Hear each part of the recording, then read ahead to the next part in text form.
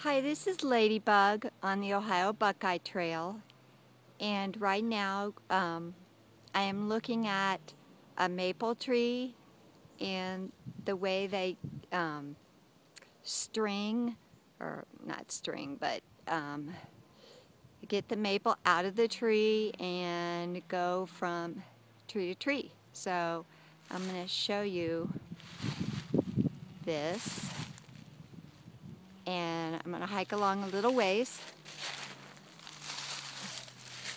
I had to pick up my poles. That's a blue blaze. That's the Ohio Buckeye Trails um, symbol, and that's how they mark the trail. And by the way, they do a very good job of that. And this is more of the maple tree.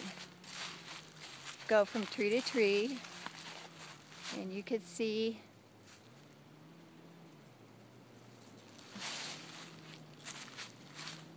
it's a big maple area where I am right now obviously maple country. And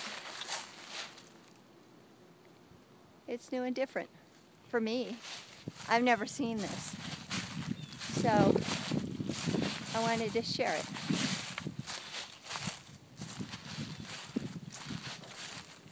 And this is going to go on for a quarter of a mile, but uh, just so you get a feel for maple tree country.